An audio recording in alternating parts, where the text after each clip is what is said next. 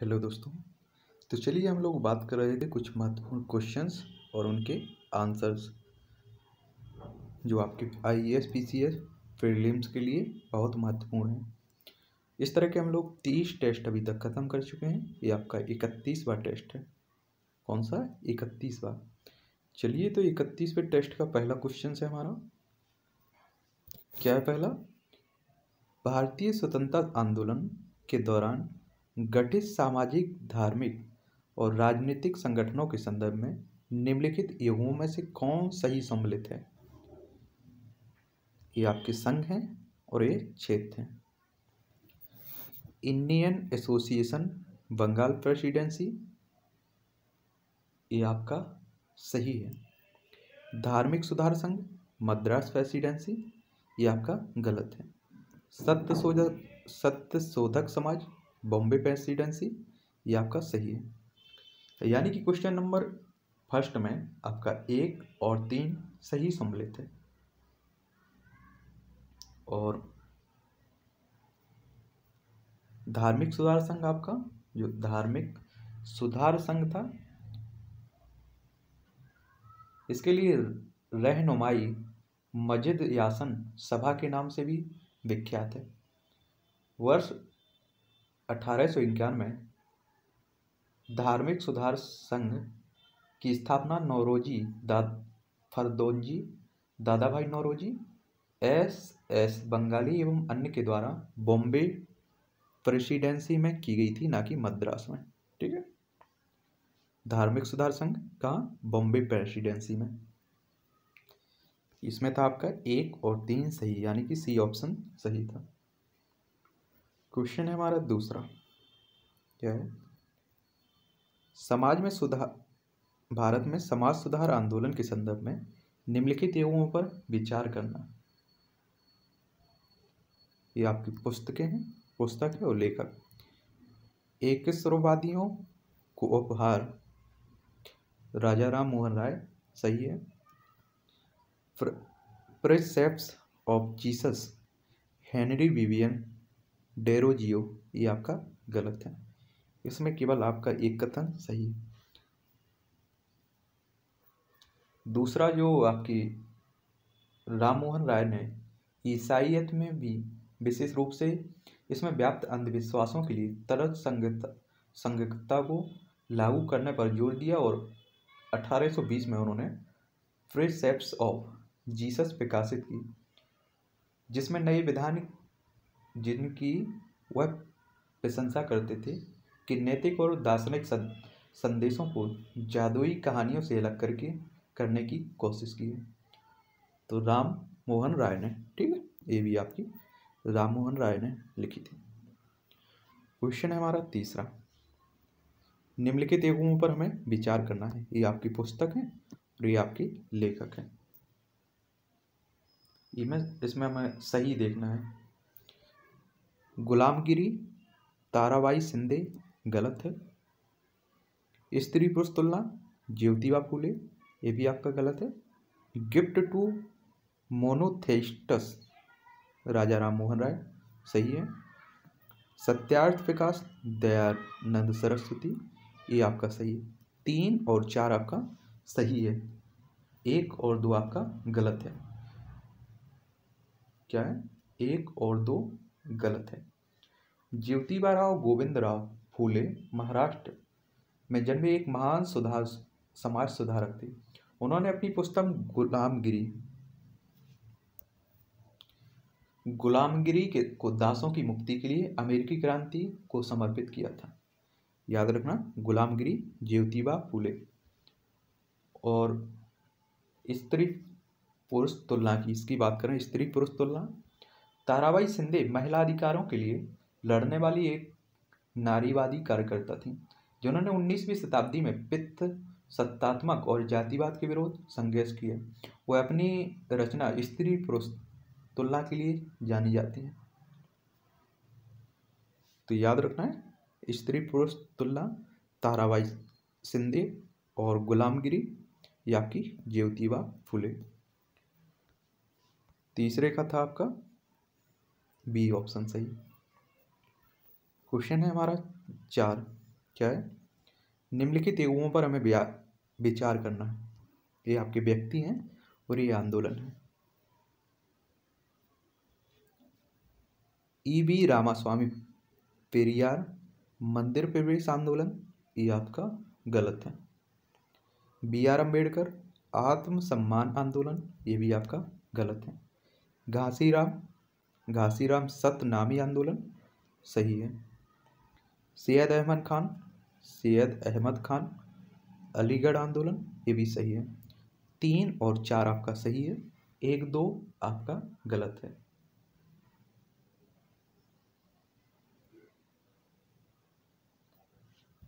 सतनामी कौन सा?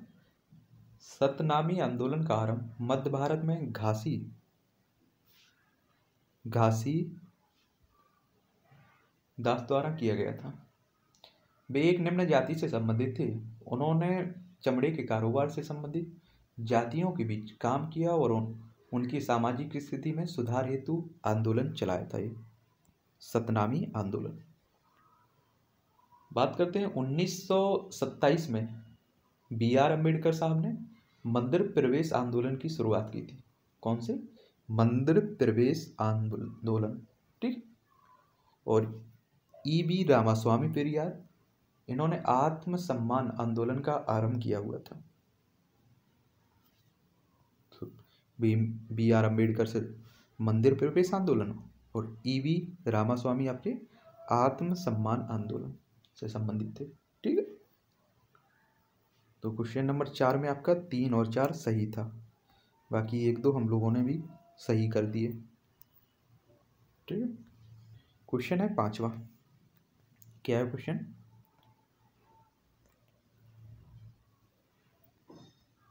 उन्नीसवीं, बीसवीं सदी के सामाजिक सुधार आंदोलन, आंदोलनों के संदर्भ में निम्नलिखित कथनों पर हमें विचार करना है।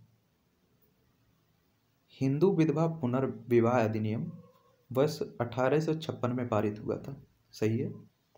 बाल विवाह प्रतिषेध अधिनियम वर्ष अठारह में पारित हुआ था। ये आपका गलत है। केवल एक सही है इसमें।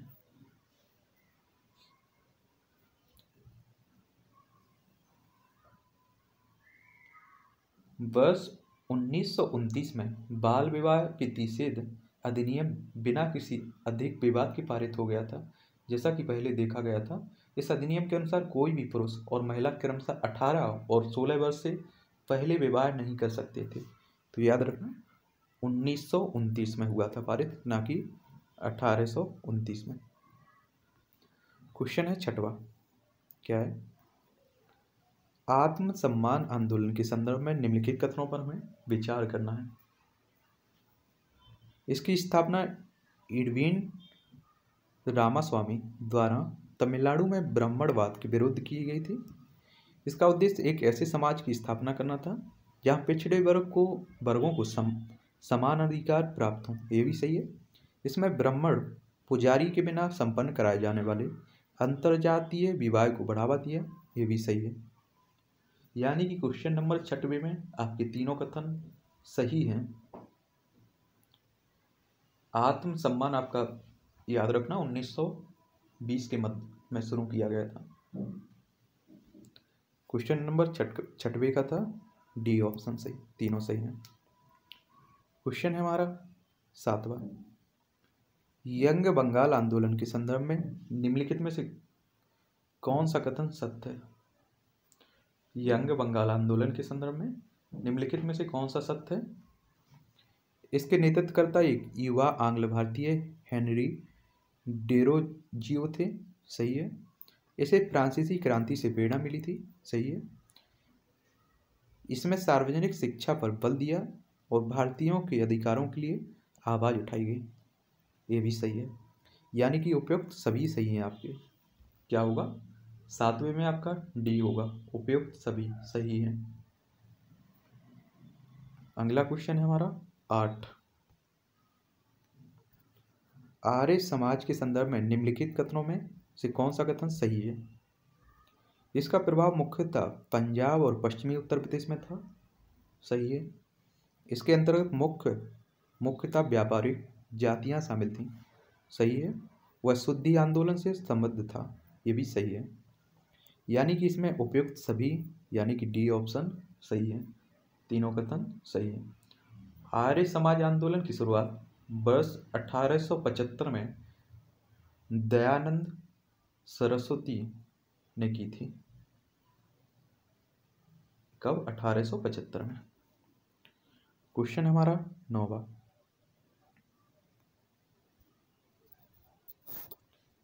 भारत में आरंभिक औपनिवेशिक इतिहास लेखन के संबंध में निम्नलिखित कथनों पर हमें विचार करना है। जेम्स मिल ने वर्ष 1817 में ब्रिटिश भारत का इतिहास की रचना की। सही है। उसने भारतीय इतिहास को तीन कालखंडों में विभाजित किया, जो कि हिंदू, मुस्लिम, ईसाई है। ये आपका गलत है। जेम्स जेम्स मिल वास्तव में कभी भारत नहीं आया, लेकिन उसका यह विश्वास था कि एशियाई समाजों में सभ्यता का स्तर यूरोप की तुलना में काफ़ी नीचे है। ये आपका सही है। क्वेश्चन नंबर नौ में आपका सिर्फ़ दूसरा कथन गलत है। बाकी एक और तीन आपका सही है।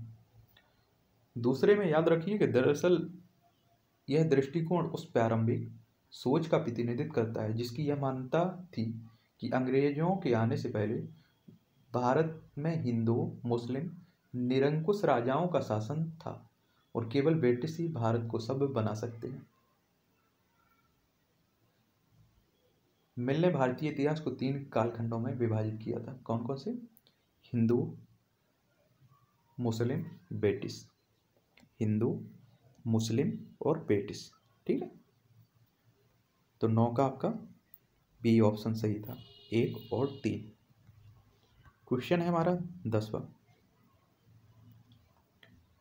भारत में आरंभिक ब्रिटिश शासन के संबंध में निम्नलिखित कथनों पर विचार करना भारत में आरंभिक ब्रिटिश शासन के संबंध में निम्नलिखित कथनों पर विचार करना है।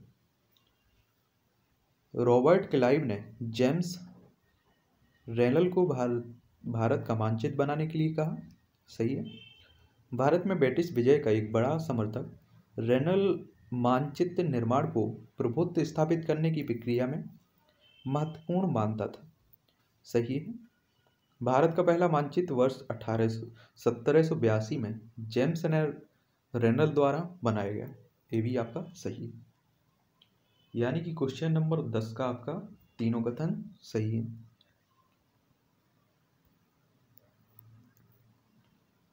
क्वेश्चन है हमारा ग्यारह। क्या है? वर्ष अठारह के विद्रोह के कारणों के संदर्भ में निम्नलिखित कथनों में से कौन सा कथन सही है? अठारह के विद्रोह के कारणों में निम्नलिखित में से कौन सा कथन सही है? किसान और जमींदार अत्यधिक कर व लगान वसूली के कठोर तरीकों से नाराज़ थे। सही है। भारतीय सिपाही धार्मिक भावनाओं और विश्वासों का उल्लंघन करने वाले नियमों से असंतुष्ट थे, ये भी सही है। भारतीयों ने यह महसूस किया कि सामाजिक सुधार की आड़ में अंग्रेज़ उनकी परंपरागत जीवन शैली को नष्ट कर रहे हैं। ये भी आपका सही है। यानी कि क्वेश्चन नंबर ग्यारह में आपके तीनों कथन सही है। डी ऑप्शन सही है। क्वेश्चन है बारह। क्या है क्वेश्चन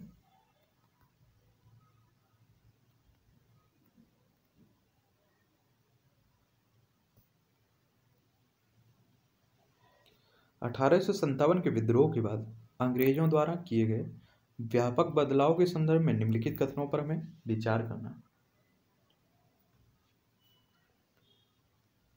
ब्रिटिश मंत्री मंडल के एक सदस्य को भारत सचिव नियुक्त किया गया। उसे भारत के शासन से संबंधित सभी मामलों के लिए उत्तरदायी बनाया गया। सही है, भारत के गवर्नर जनरल को वायसराय की उपाधि दी गई, ये भी सही है। यह निर्णय लिया गया कि सेना में भारतीय सैनिकों के अनुपात में वृद्धि होगी। उन्हें बेहतर वेतन, मान और भत्ते दिए जाएँगे। ये आपका गलत है। भूस्वामियों और जमींदारों की रक्षा के लिए नीतियाँ बनाई गई और उन्हें अपनी भूमि संबंधी अधिकारों की सुरक्षा प्रदान की गई। ये आपका सही है। तो बारह में क्वेश्चन नंबर बारह में एक, दो, चार कथन सही है। बाकी तीसरा आपका गलत है। क्या है? तीसरा आपका गलत है। इसके बाद ए, अठारह सौ सत्तावन के बाद विद्रोह के बाद यह निर्णय लिया गया कि सेना में अनुपातिक रूप से भारतीय सैनिकों की संख्या कम हो और यूरोपीय सैनिकों की संख्या बढ़ाई जाए ठीक है? तो क्वेश्चन नंबर बारह में आपका सी था। एक, दो, चार कथन सही था। क्वेश्चन नंबर आपका है तेरह। याद रखिए जिस, इस तरह की जितनी भी पीडीएफ होती हैं, वो सभी टेलीग्राम पर डाल दी जाती हैं, ठीक? वहाँ से देखते रहिए। निम्नलिखित में से कौन भारत में यूरोपीय शक्तियों के आगमन के सही क्रम को दर्शाता है? निम्नलिखित में से कौन भारत में यूरोपीय शक्तियों के आगमन के सही क्रम को दर्शाता है? तो इसमें आपके पुर्तगाली फिर डच आए फिर ब्रिटिश, फिर फ्रांसीसी। यानी कि डी ऑप्शन सही है। पुर्तगाली आपके चौदह सौ अंठानवे में आए पुर्तगालियों के बाद डच आए सोलह सौ दो में। ठीक है? और आपके फिर ब्रिटिश आए और फिर आपके फ्रांसीसी आए। अठारह सौ, सॉरी, सोलह सौ अड़सठ में आए थे आपके फ्रांसीसी। ठीक है? डी ऑप्शन सही है। क्वेश्चन है हमारा चौदह। भारत में डच उपनिवेशीकरण के संबंध में निम्नलिखित कथनों पर विचार करना है। वर्ष 1605 में मसूलीपट्टनम में पहला डच कारखाना स्थापित किया गया। सही है। बंगाल में पहला डच कारखाना 1627 में पीपली में स्थापित किया गया था। ये भी सही है।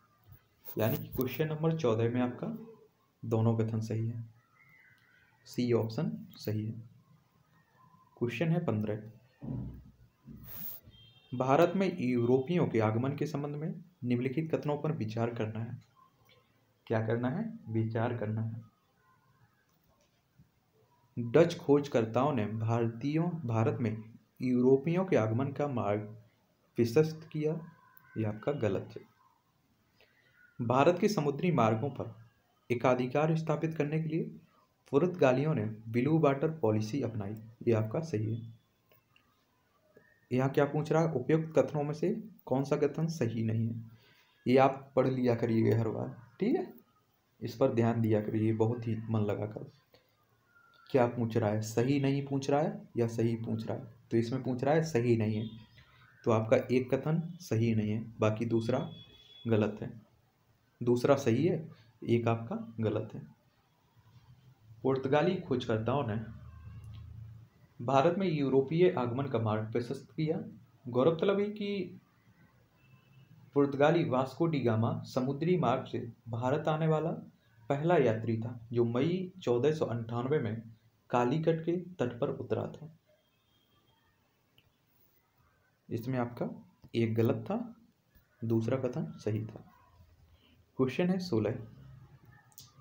बॉक्साइड खनन के विरुद्ध लगातार संघर्ष के लिए डोंगरिया क्रोंद जनजाति समाचारों में थी। इस विषय में निम्नलिखित कथनों में से कौन सा कथन सही है? इस जनजाति का संबंध उड़ीसा के नियमगिरी पहाड़ी क्षेत्र से है। सही है। ये चट्टानों और पर्वतों जैसे बेजान चीज़ों में भी जीवन के अस्तित्व पर विश्वास करते हैं। ये आपका सही है। यानी कि सोलह में आपके दोनों कथन सही हैं। सी ऑप्शन सही क्वेश्चन है हमारा सत्रह। निम्नलिखित कथनों पर हमें विचार करना है।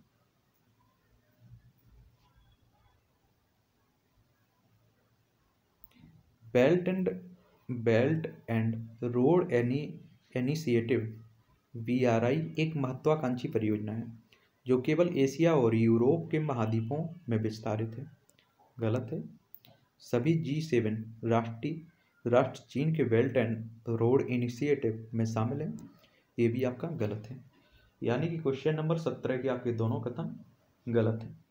सही क्या होंगे? सुनिए। बेल्ट एंड रोड इनिशिएटिव एक महत्वाकांक्षी परियोजना है। एशिया, अफ्रीका और यूरोप के महाद्वीपों के कई देशों के बीच। कनेक्टिविटी और सहयोग पर केंद्रित है। याद रखना, एशिया, अफ्रीका और यूरोप के महाद्वीपों के कई देशों के बीच कनेक्टिविटी और सहयोग पर केंद्रित है। चीन के बेल्ट एंड रोड इनिशिएटिव के साथ जुड़ने वाला इटली पहला जी सेवन देश बन गया है। इटली पहला जी सेवन देश बन गया है। क्वेश्चन नंबर सत्रह में आपका डी था। ना तो एक सही था और ना ही दो। क्वेश्चन है हमारा, अठारह। भारत, ऑस्ट्रेलिया संयुक्त सैन्य, नौसैनिक अभ्यास के संदर्भ में निम्नलिखित कथनों पर हमें विचार करना है।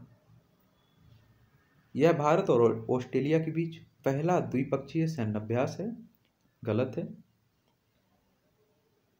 ये यू सिंडेक्स 2019 को ऑस्ट्रेलिया के इंडो पैसिफिक एंडेवर 2019 के हिस्से के रूप में आयोजित किया गया है। ये आपका सही है। पहला कथन इसमें गलत है, दूसरा आपका गलत है। दूसरा सही है सॉरी पहला गलत, दूसरा सही। भारत और ऑस्ट्रेलिया ने विशाखापट्टनम, आंध्र प्रदेश के तट पर आयोजित दो दो वार्षीय द्विवार्षिक अभ्यास के तीसरे संस्करण में भाग लिया था। ये आपका तीसरा संस्करण था। ठीक है? अठारहवें में आपका बी था।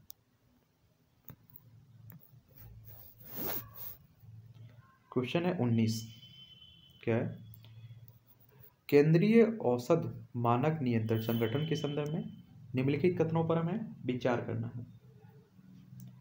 यह दवाओं की आयात, नई दवाओं की मंजूरी और नैदानिक परीक्षणों को नियंत्रित करता है, यह आपका सही है। यह केंद्रीय औषधि प्राधिकरण, जो औषधि एवं प्रसाधन सामग्री अधिनियम के तहत केंद्र सरकार को सौंपे गए कार्यों का निर्वहन करता है। यह आपका सही है। यानी कि 19 में आपके दोनों कथन सही हैं। सी ऑप्शन सही होगा। क्वेश्चन है बीसवा। क्या है? व्यापार। व्यापार प्राप्त बट्टाकरण छूट प्रणाली के संदर्भ में निम्नलिखित कथनों पर विचार करना है। इसे भारतीय रिज़र्व बैंक द्वारा शुरू किए गए नियामक ढांचे द्वारा नियंत्रित किया जाता है। सही है। यह M S, M E S की की व्यापार व्याप्तियों के वित्त पोषण को सुविधाजनक बनाने के लिए संस्थागत व्यवस्था है। ये आपका सही है। या कि, यानी कि क्वेश्चन नंबर बीस में आपके दोनों कथन सही है। सी ऑप्शन सही है। क्वेश्चन है हमारा इक्कीस। क्या है इक्कीस वित्तीय कार्रवाई, कार्यबल के संदर्भ में निम्नलिखित कथनों पर विचार करना है। एफ़ ए टी एफ़ के बारे में।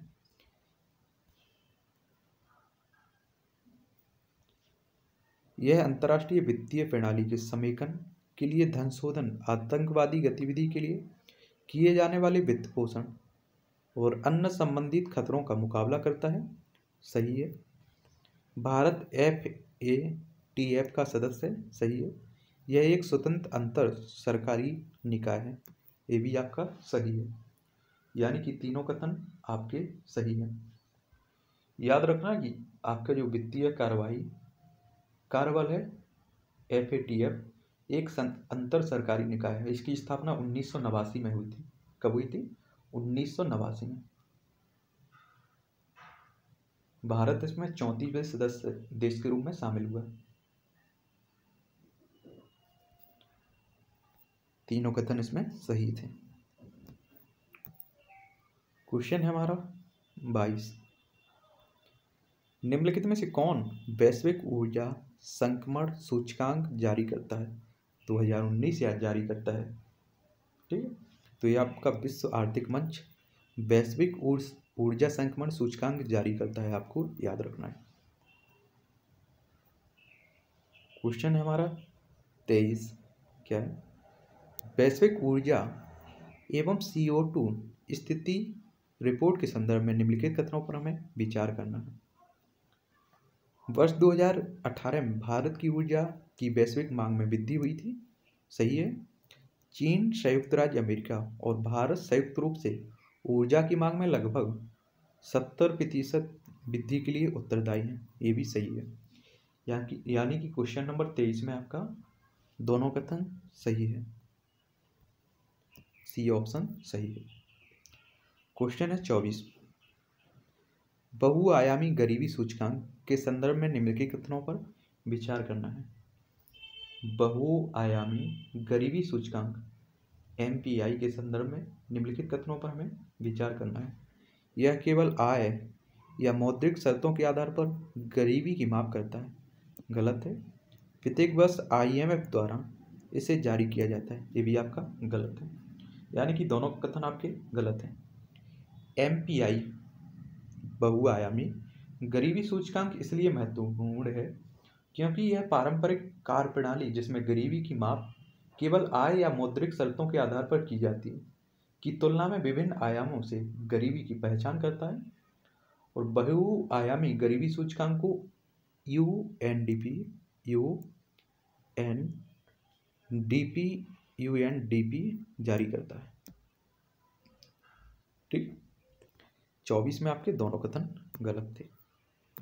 डी ऑप्शन था क्वेश्चन है पच्चीस। द्वीप संरक्षण क्षेत्र नियम 2019 के संदर्भ में निम्नलिखित कथनों पर विचार करना है। यह विशेष मंत्र मामलों में पर्यावरण के प्रति संवेदनशील क्षेत्रों में सड़कों के निर्माण की अनुमति देता है। सही है। नियमों के तहत छोटे द्वीपों में हाई टाइड लाइन से 20 मीटर की दूरी पर इको टूरिज़्म प्रोजेक्ट स्थापित करने की अनुमति देता है। ये सही है। और ये आपका तीसरा है। नियमों को पृथ्वी विज्ञान मंत्रालय द्वारा अधिसूचित किया गया है। ये आपका गलत है। इसमें सही क्या होगा? पर्यावरण, वन एवं जलवायु परिवर्तन मंत्रालय ने अंडमान और निकोबार द्वीप के लिए I P Z island protection zone 2019 को अधिसूचित किया था। किसने? पर्यावरण वन एवं जलवायु परिवर्तन मंत्रालय ने कि पृथ्वी मंत्रालय। तो इसमें आपका एक और दो सही था। तो ये थे आपके 25 महत्वपूर्ण क्वेश्चंस जो आपकी परीक्षाओं के लिए महत्वपूर्ण रहेंगे, ठीक? इसी तरह के अन्य और भी क्वेश्चंस हम लोग देखते रहेंगे आगे भी।